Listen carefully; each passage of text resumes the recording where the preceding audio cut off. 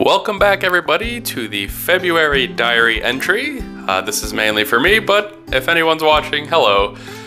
Uh, just wanted to say that this month was good in terms of school progress, and the reason being because I uh, have been a full time student this month. So at the end of January, I was unfortunately laid off um, from my job, and I have been working on school full time, so I've been able to make massive progress. Um, I'll pop up the classes I've completed here in my list, I'm actually very close to graduation.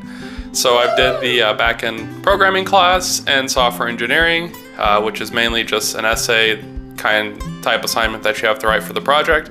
And I have submitted my advanced Java project. It's being being graded right now, and maybe it'll be done by the end of the month. But I'm recording this before the end of the month, so.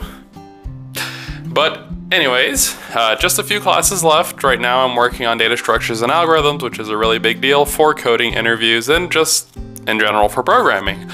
Um, very important to understand those concepts and how it applies to your programs and the implementation. But um, on the other uh, front side of things, I actually have applied for some internships at some companies through my school.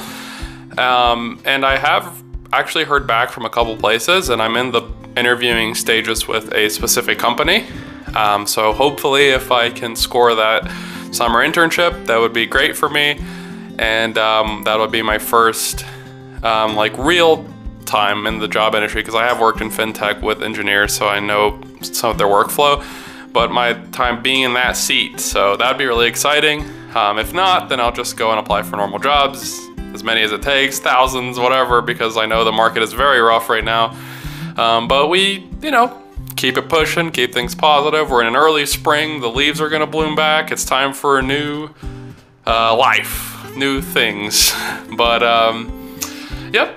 Uh, hope everybody's doing well out there. That's all I have to share today. And to my future self, good job.